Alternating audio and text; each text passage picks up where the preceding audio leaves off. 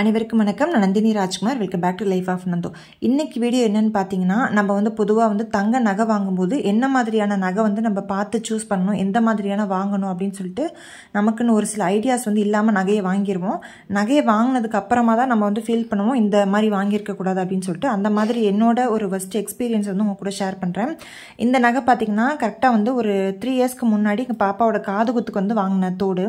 தோடு வாங்கும்போது நாங்கள் வந்து ஃபஸ்ட்டு வந்து மாடல் மட்டும்தான் பார்த்து வாங்கினோம் மாடல் நல்லா இருக்கா? அந்த மாதிரி தான் பார்த்து வாங்கிட்டு வந்துட்டோம். இதில் வந்து பார்த்தீங்கன்னா இந்த மாதிரி ட்ராப்ஸ் மாதிரி கொடுத்துருக்காங்க. ஒரு தோடில் மூணு ட்ராப்ஸ் இருந்தது இன்னொரு தோடுலேயும் மூணு ட்ராப்ஸ் இருந்தது. ஆனால் வந்து பார்த்தீங்கன்னா இந்த நகையை வந்து நாங்கள் கொஞ்ச நாள் வந்து அடகில் வச்சுருந்தோம். திருப்பி அடகில் வந்து திருப்பும் போது பார்த்தீங்கன்னா தோடை வந்து கவனித்து பார்க்காம மற்ற நகையோடு இருந்தனால பார்த்து வாங்கிட்டு வந்துட்டேன். அப்புறம் வீட்டில் வந்து பார்த்தா ஒரு தோடில் பார்த்தீங்கன்னா ஒரே ஒரு ட்ராப் தான் இருக்குது இன்னொரு தோடில் மட்டும் பார்த்தீங்கன்னா மூணு ட்ராப் இருக்குது இது வந்து கவனிக்காமல் வாங்கிட்டு வந்துட்டோம். இது வந்து விழுந்துருச்சு. தோடு எப்படி மிஸ் ஆச்சுன்னு தெரியல விழுந்துருச்சு. இந்த மாதிரி ட்ராப்ஸ் இருக்க மாதிரி பார்த்து வாங்கினோம் அப்படின்னா நமக்கு வந்து நஷ்டமாகும் ஆகும் அதே மாதிரி பார்த்தீங்கன்னா தோடில் வந்து எனாமல் வச்ச மாதிரி வாங்கிட்டோம். எனாமலும் பார்த்தீங்கன்னா நமக்கு வந்து மில்லிகிராம் அளவுக்கு வந்து நஷ்டமாகும். அதே மாதிரி இந்த மாதிரி தோடெல்லாம் வாங்கும்போது கல் வச்ச நாங்கள் வாங்கினனால நமக்கு நஷ்டமாகும்.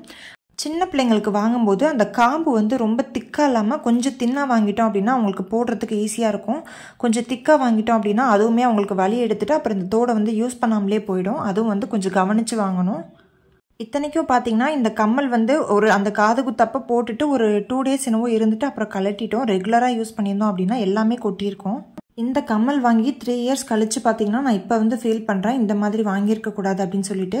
ஏன்னா மிடில் கிளாஸில் இருக்க நமக்கு வந்து பார்த்தீங்கன்னா இப்போதைக்கு நகை விற்கிற விலையில சின்ன சின்ன பொருள் வாங்குறதுக்கு கூட எவ்வளோ சிரமப்பட்டு வாங்குறோன்றது தெரியும்.